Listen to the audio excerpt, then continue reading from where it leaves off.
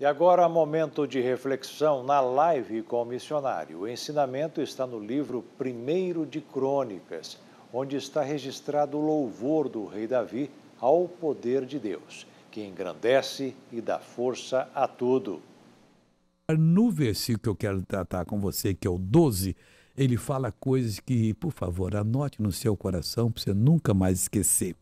Aí, além de tudo que ele falou que Deus tinha feito, ele diz assim: e riquezas e glórias vêm de diante de ti. Se você precisa prosperar, você precisa ser uma pessoa cheia da glória divina, de alegria, de poder, vem tudo diante, de diante de Deus. E tu dominas sobre tudo. Não tem nada que Deus não domine. Domina sobre o servo dele e sobre as forças do mal.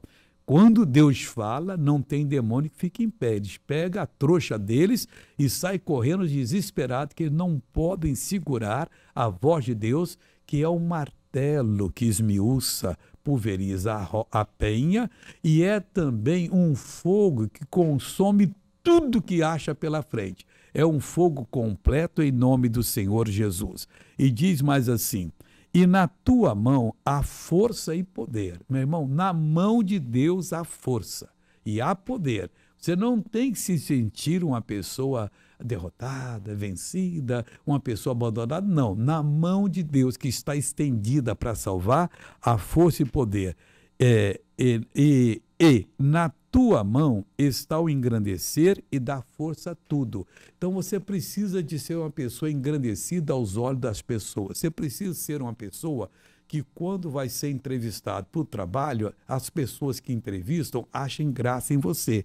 Porque você também não é falso. Depois você não vai chegar lá e vai pintar e bordar, não. Você vai fazer, vai agir como servo de Deus, né?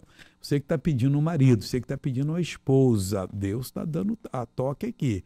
Na, na mão dele está o engrandecer e dar força a tudo. Ele pode resolver o seu problema, mas depois você não vai ser uma peste no casamento, não. Não vai levar aquelas ideias pré-concebidas que viu a sua tia, a sua avó, a sua bisavó, a sua triavó, a sua tretavó, que viu lá atrás a Jezabel, sei lá que foi, fazer maldade. Não, você vai ser uma pessoa de Deus no casamento, você vai ser uma pessoa que vai realmente edificar a sua casa e fazer o seu lar ser uma fonte de amor, uma fonte de paz, que quem lá chegar vai dizer assim: bendito seja Deus as, os, os genros que chegarem ou as noras que chegarem, vai dizer: Deus, obrigado, entrei na família certa.